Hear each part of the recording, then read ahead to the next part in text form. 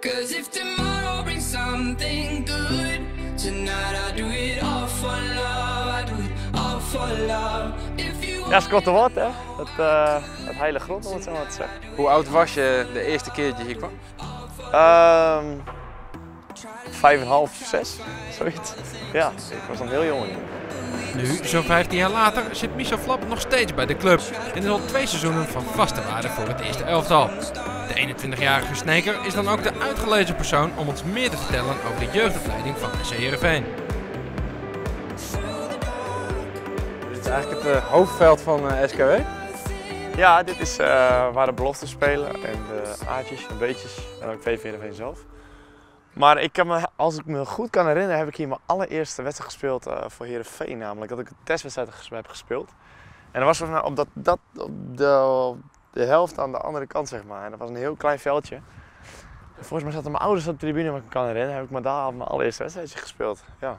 Maar eigenlijk ja, tot en met het eerste speel je hier al die wedstrijden. Nee, niet alle wedstrijden. Het zijn ook nog, eh, dat is een soort van rangorde. Je speelt eh, daar op kunstgras, je speelt eh, hier bij de C'tjes en een beetje een aardjes en de belofte ga je hier spelen. Flap en 3-0. Ja, Zineli, Flap. Flap moet het afmaken en dat doet hij ook. Prachtige goal. Helemaal vrij is Flap. Krijgt ook de bal. Flap en moet scoren. En dat doet hij ook. Want scoren is voor Michel Flap geen enkel probleem. Ik kwam als jong jongetje had ik een, een, een doel, een droom om, om profvoetballer te worden. En eh, ja, dag en nacht wakker worden, slapen, voetballen, voetballen, voetballen, voetballen. Elke dag weer. En uiteindelijk eh, kwam, kwam had ik een scout in mijn straat wonen en die, eh, ja, die had me uitgenodigd om bij Heerenveen een keer eh, te komen. Maar ja, vrij snel mocht ik, mocht ik in, de- in de opleiding deelnemen. En sindsdien al altijd stapje voor stapje omhoog gegaan. En ja, als je daar nu op terugkijkt, is dat dan ja, ook, ook zo gegaan zoals je had gehoopt dat het gegaan was? Uh, om het zo maar te zeggen, de reis hier naartoe is nooit, is, het is nooit makkelijk. Het is nooit een, een makkelijke reis, alles maar gemakkelijk afgaat. Voor sommigen wel, en die komen het later misschien tegen dat ze tegenslagen hebben. Alleen ik heb in de jeugd wel, eh, ja, ik denk dat, dat veel mensen dat nu al weten. En ook genoeg interviews al wel, hebben het er ook over gehad. Maar ik heb toch wel een drie jaar denk ik wel stilgestaan in, eh, vanwege de groei. En eh, ja, dat is, dat is voor als jonge jongen is dat, is dat heel vervelend. En eh, heeft, dat niet, heeft het niet een fijn effect dat dat op me gehad. Alleen, en toen had ik ook iemand die, die me wel dit wou en wou vechten in, in dat team. En ja, op dat opzicht heeft, heeft het mentaal wel een, eh, wel een, een groot voordeel opgeleverd. Want daardoor ben ik wel sterker geworden. Had je het anders ja, misschien daar wel een punt achter gezet? Als dat niet eh, gebeurd was? Of? Ja, ik wou er bijna een punt achter zetten. Ik, eh, ik wou er bijna mee stoppen zelfs. En ja, dat kwam vooral daardoor. Het was de groei, het liep niet. Ik had last van mijn lichaam. nou ja, een trainer die het maximale van jezelf eist, om het zo maar te zeggen. Alleen het, het niet lukt gewoon. Nou ja, als, eh, als, ja, als jongetje van 13, 14 heb je daar gewoon heel veel moeite mee. Ik er dan, in ieder geval. Dus toen, eh, toen heb ik al een aantal keer thuisgekomen dat ik, dat ik aan het huilen was. En dat, ik, eh, ja, dat mijn ouders zeiden, ja, wil je er dan mee stoppen? En dat ik zo ja, ik weet het niet. Misschien, misschien wel, misschien niet. En, maar uiteindelijk, ja, dan, dan ga je nadenken en heb je uiteindelijk toch zoiets van, ja, je hebt die droom en dat wil je waarmaken. Tenminste, ik, ik wou dat waarmaken. En ja, dan, dan ga je door. En uiteindelijk hoop je dat alles terugkomt. En dat je beter wordt en ontwikkelt. Ja, dat is, dat is wel vrij goed gegaan. Dit zijn de kleedkamers? Ja, dit is eh, eigenlijk waar het allemaal begon. Hier eh, begon je als D'tje, kleedkamer A. Dan ging je als C'tje ging je door naar kleedkamer B. Dan werd je B'tje, ging je door naar kleedkamer C. En dan werd je A'tje en dan ging je door naar kleedkamer D. Ja, maar er zijn wel een aantal dingen veranderd. We hadden dit nog niet. Dan waren, kijken, dit eh, jeugdspeler van de maand hadden we nog niet. Dus... Nee, jij bent dus nooit jeugdspeler van de maand geworden. Nee, dus ik heb het helaas nooit kunnen worden. Maar eh, ah, leuk dit. Leuk. Nou, uiteindelijk hebben wij natuurlijk de doelstelling om spelers op te leiden als professional. Dus op te leiden om hier te gaan voetballen in het stadion, op het gras van het Abel stadion natuurlijk. Dat is uiteindelijk de doelstelling die we hebben als club, daarvoor bij een jeugdopleiding. Um, daarnaast vinden wij het ook heel erg belangrijk dat jongens zich ontwikkelen, ook als persoon. Dus niet alleen uh, als voetballer, maar ook als mens. Dus daarvoor doen we ook verschillende projecten en ondersteunen we initiatieven rondom het veld. Nou, zo hebben we een, eh, een lifestyle maatschappijprogramma. Dus dan zorgen wij dat er workshops zijn gedurende het seizoen. Die worden ingepland in het trainingsprogramma. Uh, dat kan zijn of het nou over koken gaat, voeding, hè, gezonde voeding. Hoe ga je nou om met, uh, met dat uh, fenomeen eigenlijk?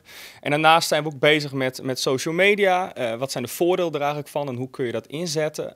gaan we op bezoek bij de jeugddetentie. Willen ook zien hoe de andere kant van de medaille eigenlijk is. in plaats van het leven wat, wat sommige jongens hier natuurlijk leiden, dat er ook meer is. We werken samen met een voedselbank. En nou, laatst hebben we bijvoorbeeld nog een project gehad met Nederland Schoon. hebben we nou ja, het stadion en rondom het stadion schoongemaakt met jeugdspelers Stichting Wil was erbij betrokken. Nou, dat zijn mooie initiatieven. Ja, merken jullie ook dat de een bijvoorbeeld meer behoefte heeft aan dit of de ander weer meer daarvan leert?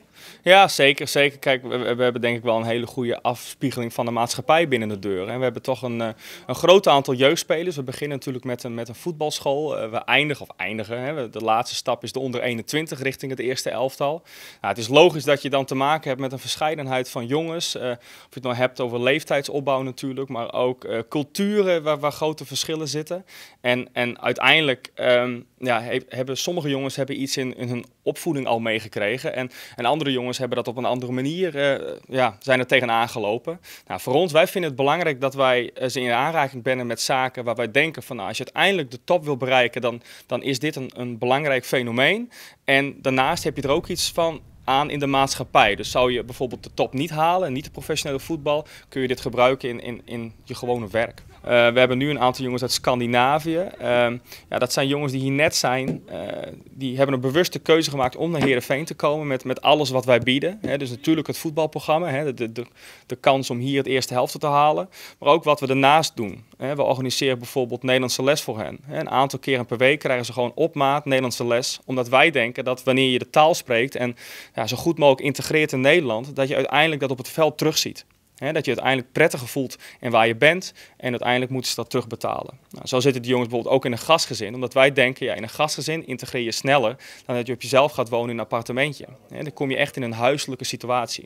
Ik denk dat ze in alle rust kunnen laten, laten ontwikkelen. Dat is... Uh...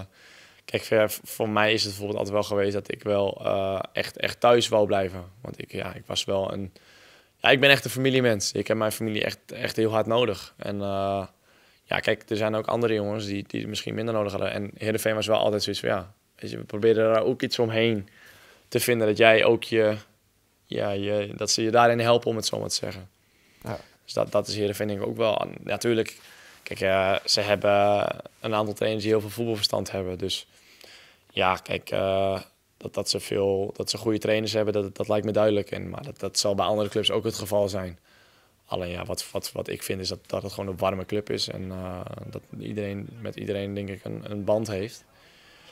En ook uh, de mensen, de supporters, dat die ja, toch met iemand willen kunnen identificeren, denk ik. ik. ik. heb wel een hoop trainers gehad, maar van, van, vanaf Robin Veldman, uh, Wilco Hellinga, Jeffy Tallant, Timo Klomp, Johnny Jansen, Hans.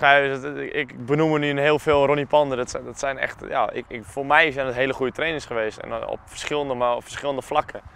Alleen ik denk dat daar Heerenveen de handen wel mag dichtknijpen met zulke, met zulke trainers. Ik, uh, ik heb er heel veel aan gehad en die hebben mij gebracht waar ik nu ben. Uh, ook aan het einde van het jaar had je een gesprekje of, of na een half jaar.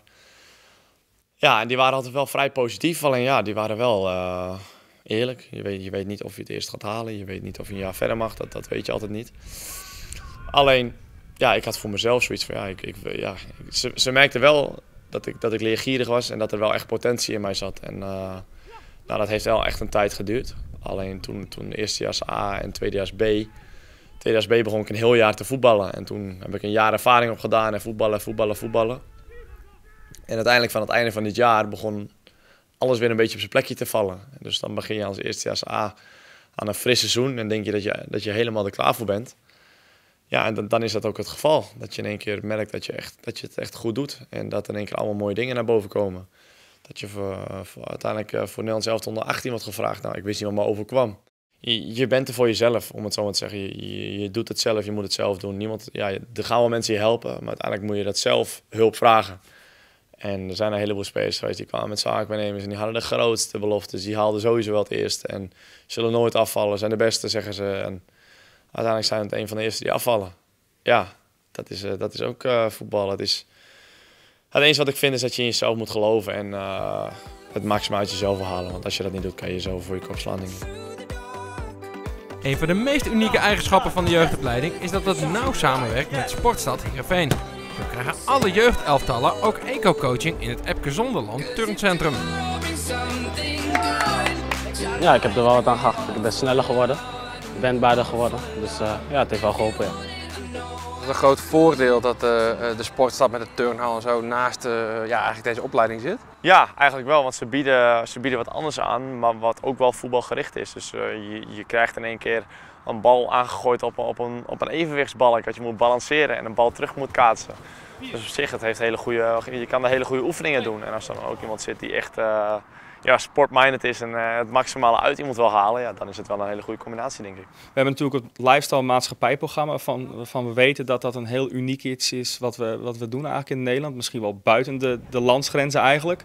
En hiernaast natuurlijk het programma wat we draaien in de turnhal. Dat je op een hele andere manier naar het bewegen gaat kijken. Meer doet dan alleen op het veld met de bal, maar ook die connectie eigenlijk maakt binnen de zaal. Ik denk dat dat wel twee hele unieke aspecten zijn. Nou, ik denk dat de laatste jaren wel een heleboel jongens die wel van de jeugd zijn gekomen, echt door zijn gestroomd. Die een transfer hebben gemaakt. Uh, dat is aan Heerenveen uniek, denk ik. Dat is niet bij heel veel clubs zo. Ja, en, en ik denk dat Heerenveen gewoon een warme club is. Het is, het is het, je, je, voelt je welkom, je voelt je thuis. Denk ik. Voor mij is het altijd geweest dat ik me thuis voelde en dat, dat, dat ik op mijn plek was. En uh, ja, dat, dat is wel een, een grote kwaliteit. Wat is het grote geheim van jullie? We zijn één team. We zijn samen. We zijn één team. Ja, we zijn één team. Eén team. Ja. We zijn gewoon een familieclub. Dat, dat, dat stralen we uit volgens mij. Dat is ook iets wat we altijd terugkrijgen. En het is mooi dat jij dat ook zegt. Dat, dat, ja, dat, dat is heel vaak wat je hoort als ouders. We hebben een nieuwe een, een jonge man uit Zweden. En uh, natuurlijk is dat een hele grote stap. En dat is niet alleen een grote stap voor de jonge man zelf, maar ook voor zijn ouders. En uh, die waren ontzettend gespannen voor het feit van nou, die overstap naar het buitenland met name. Uh, die komen hier dan en daar heb je als club dan een gesprekken mee. En dat, dat, dat ben ik, maar dat zijn al mijn collega's eigenlijk die samen een bepaalde sfeer creëren. En als mensen dan uiteindelijk op het vliegtuig stappen en, nou ja, en zeggen van voorafgaand hadden wij... Uh, nou ja, waren we heel gespannen, maar we gaan met een gerust hart weer terug naar Zweden. En, en we weten dat we onze zoon hier achter kunnen laten, want hij is in goede handen. Ja, dan doe je het volgens mij als club heel goed.